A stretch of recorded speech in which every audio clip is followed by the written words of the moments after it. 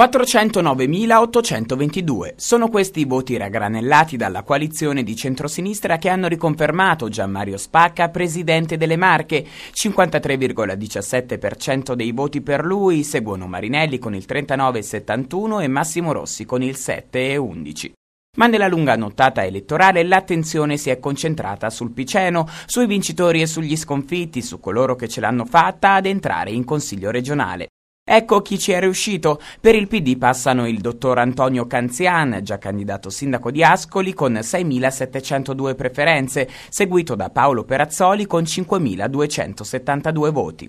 Non ce la fanno Mauro Gionni e, a sorpresa, Pietro Colonnella, che ottiene 4.714 preferenze.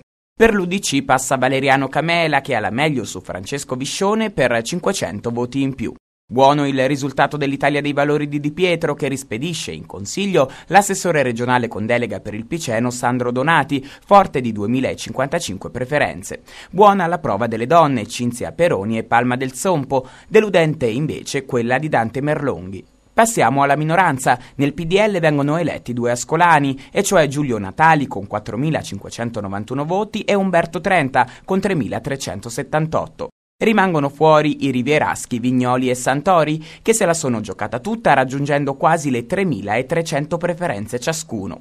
Il candidato Massimo Rossi, con 2.118 preferenze nel Piceno, non passa, ma per la sua coalizione entrano ad Ancona Raffaele Bucciarelli e Massimo Binci.